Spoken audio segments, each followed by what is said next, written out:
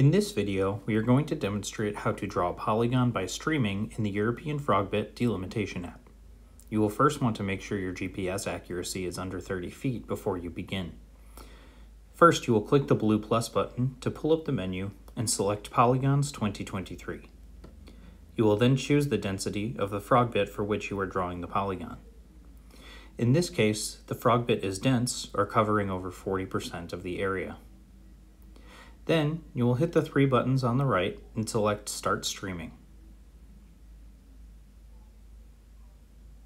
This is now streaming a line as you walk, kayak, or wade through the system. You will continue to survey the path of the polygon boundary, changing directions as you go to determine the shape of your polygon. You will continue along the path where you are observing Frogbit until you return to your starting point.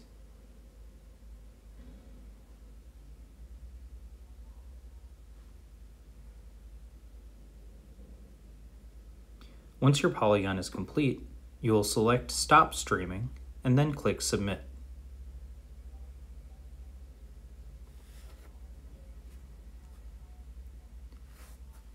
After submitting, you can go back and edit your polygon to add notes or attach images.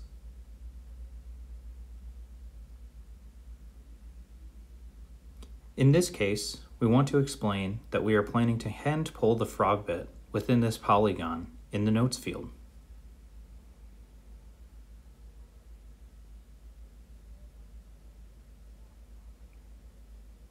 You can then take or attach a photo